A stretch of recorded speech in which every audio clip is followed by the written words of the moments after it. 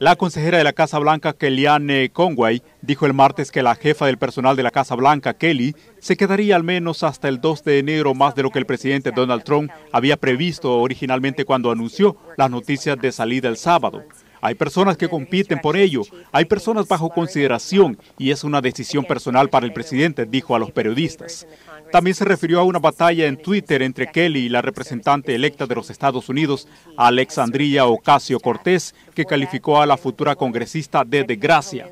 Hablando con reporteros en el camino de entrada de la Casa Blanca, Conway citó informes de noticias de que China parece estar avanzando hacia la reducción de las tarifas en los automóviles fabricados en los Estados Unidos al 15%.